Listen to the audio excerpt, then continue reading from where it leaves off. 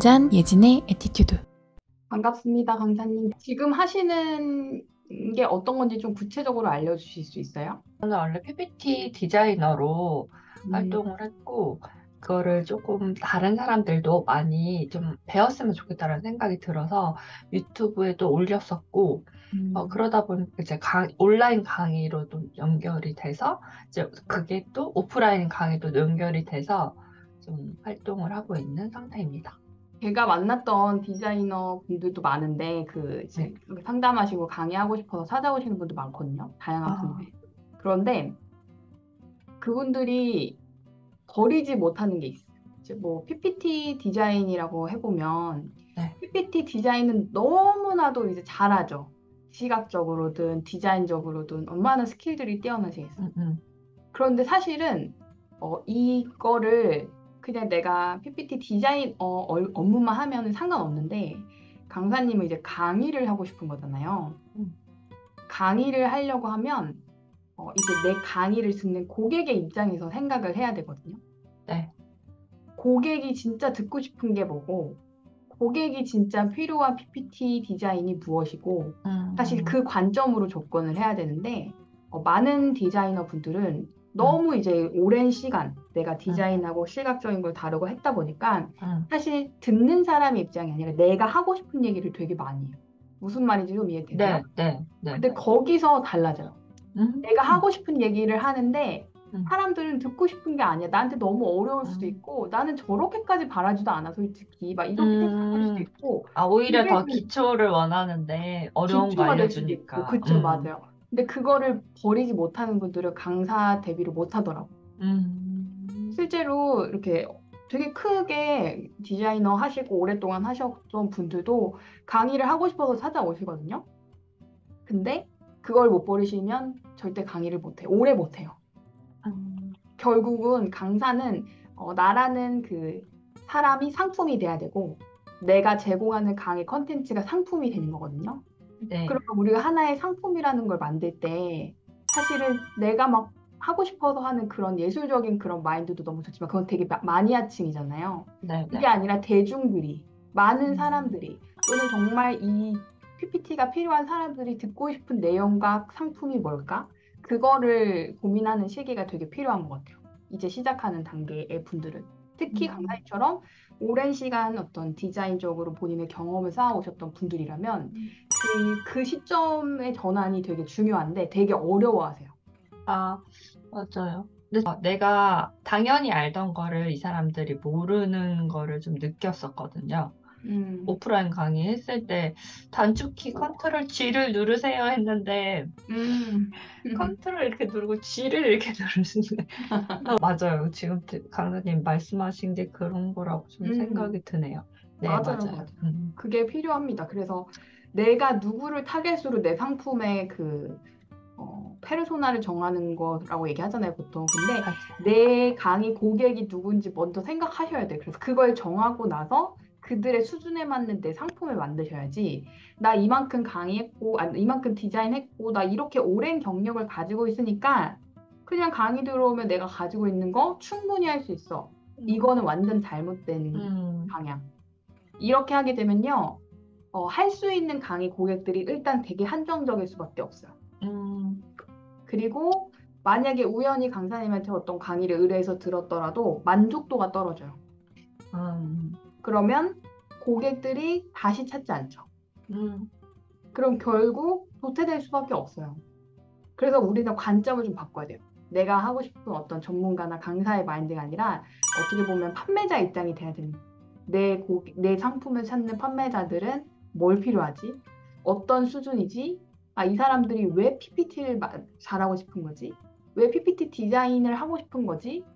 거기서 좀 생각을 먼저 해보셔야 돼요. 그거를 좀 생각해 보신 적 있으세요? 어, 맨 처음 유튜브 만들었을 때그 회사의 대리, 대리를 타겟으로 했거든요.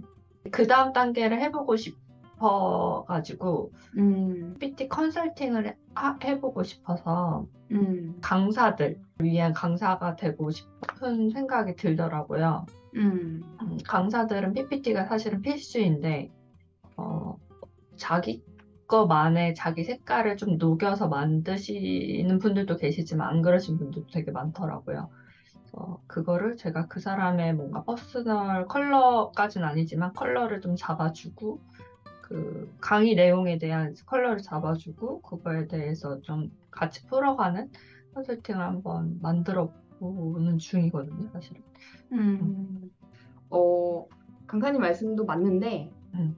굳이 사람들이 강사님한테 돈을 내고, 음. 비용을 들여서, 시간을 들여서, 컨설팅을 받아야 되는 이유의 그 원론적인 게 좀 빠진 것 같아요. 예를 저는 들면 사실- 뭐가 있을까요? 어, 제, 제가 강사들한테 PPT 디자인 뭐 얘기하겠지만, 굳이 돈 내고 그렇게 강의를 듣는 사람 저 많이 못 봤거든요.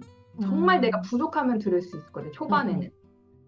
근데 저는 제 강의안도 보면 굉장히 심플하고 어떻게 보면 캔바나 미리캔버스로도 만드는 경우도 많아서 네. 그런 것들도 많은데 굳이 강사님한테 그런 personal PPT 디자인 컨설팅을 받아야 되는 이유가 뭘까?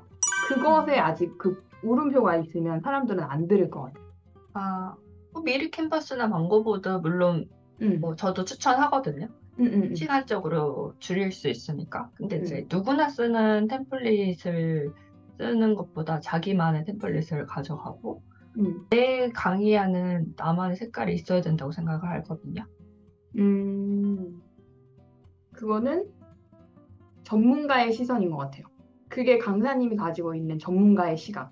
강사들이 저처럼 강의를 하는 사람들이 그거에 대한 필요성을 그렇게 많이 느끼지 않을 수 있을 것 같아요. 나만의 PPT 디자인, 내 만족을 위해서도 있겠지만, PPT 디자인을 personal color로 해서 저는 컬러도 매번 바꾸거든요. 회사의 음. CI 컬러 때문에. 그렇죠. 그러면 컬- 컬러를 굳이 내 컬러에 대해서 하게 되면 뭐가 좋지? 이걸 통해서 강의가 많이 들어오나? 꼭 그런 것도 아닌 것 같고 그냥 뭔가 지금 말하는 수준이라 그러면 시각적으로 내 스스로가 좀 만족하는 수준? 어, 뭐 그 정도의 충족이 될 것 같은데 그걸 굳이 내가 돈을 내고 저분에게 들어야 될 이유가 뭘까? 그런 음. 거에 대한 아직 그 의문점이 생길 수도 있을 것 같아요. 지금 말씀하시는 거에 있어서 음, 음. 과연 내가 또 우리 강사들이 그걸 들을까? 약간 이런 생각이 드는 거죠. 그러니까 이거를 강사님이 완전히 해소할 수 있는 어떤 나만의 포인트, 그 어떤 가려운 데를 긁어줄 수 있는 포인트를 찾거나 음. 아니면 진짜 돈, 돈을 아깝지 않을 정도의 엄청난 자료를 제공한다거나 하여튼 뭐 여러 가지 자료라는 게 어떤 자료죠? 오, 그래서 정말 그 템플릿들을 음. 나에 맞는 뭐 템플릿 같은 것들 아, 네, 네. 제작해서 뭐 어떤 진짜 컨설팅을 해준다거나 네. 막 제공해 준다거나 약간 그런 음. 것들 뭐 그런 것들도 있을 것 같고 그러면 이제 뭔가 어, 한번 들어볼까 뭐 이렇게 생각이 들 수도 있을 것 같은데 아까 말씀하셨던 그런 것들 나만의 뭐 컬러를 찾아서 나만의 강의안을 만드는 거 그게 과연 필요할까? 음. 는 아직 모르겠어요. 솔직히 음. 말씀드려요. 왜냐하면 강사님은 이제 어떻게 보면 강사를 타겟으로 강의를 준비하고 계시다고 그러는데 사실 진짜 강사들한테 의견을 들어보신 적 있어요? 강사를 준비하시는 분들 그리고 어, 시작한 지 얼마 안 되신 분들은 강의안이 음. 형은 어떻게든 이제 강사분들이 더 잘 아시니까 그걸 어떻게 시각적으로 잘 보이게 만들지 어, 음. 사람들이 이해하게 만드는지는 어, 잘 모르겠다라고 음. 말씀을 많이 해주셨거든요. 아마 저는 이제 11년 정도 됐으니까 네. 제 수준에 있어서는 이미 뭔가를 새롭게 다지거나 또는 뭔가 이 내가 가지고 있는 강의안들을 다 바꾸는 거에 대한 어떻게 보면 좀 부담감도 있을 수 있죠. 근데 강사님이 말씀하신 대로 이제 막 시작하는 분들, 음. 완전히 이제 신입 강사들, 네, 네. 그런 분들에게는 강사님이 말씀하셨던 부분이 어떻게 보면 좀 가려운 데일 수도 있겠다는 생각이 드네요. 그죠? 사장님 말씀대로 그 가려운 부분이 지금 시원하지 않은 느낌도 있긴 있는 것 같아요. 특별함이 좀 넣긴 해야 되겠네요. 그냥 저는 제가 만약에 음. 그런 강의를 어, 들어야 된다 그러면 굳이 지금 잘 하고 있는데 약간 이런 생각이 드는 그러니까, 거죠. 음, 그러면 저는 지금- 이런 음. 생각이 드는 거죠. 음. 어, 내가 음. 지금보다 더 어떤 시간적으로 효율을 줄여줄 수 있고 뭔가 음. 지금에 있는 거에서 큰 부담을 느끼지 않는 선에서 변화할 수 있으면서도 내가 이걸 가지고 상당히 어떤 어, 결과물, 예를 들면 뭐 더 많은 강의가 들어올 수 있다거나 음. 아니면 이걸 가지고 어떻게 할 수 있는 어떤 더 개선된 아. 선- 그러면 강사님이 긁어줄 수 있는 거는 어 강사님이 지금 A라는 강사한테 컨설팅을 할 때 그 강사의 강의안을 보고 지금 어떤 부분이 개선점이 필요하고 어떤 수준이고 너가 이런 거를 좀 더 하게 되면 요렇게 된다 하는 after에 대한 그런 needs를 긁어줄 수 있으면 어?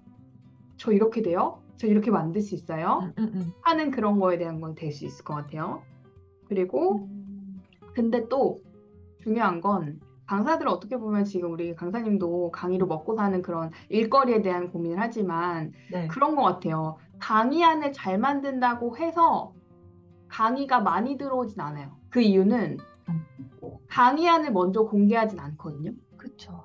강의할 때 우린 제안서나 커리큘럼이나 프로필만 주지 사실상 내 강의안의 quality에 따라서 음. 와 저 강사 돈 많이 줘야지 음, 와 음. 저 강사 저 강의 더 더 줘야지 음. 라는 시스템은 없어요 그렇지 음. 않아요 그러니까.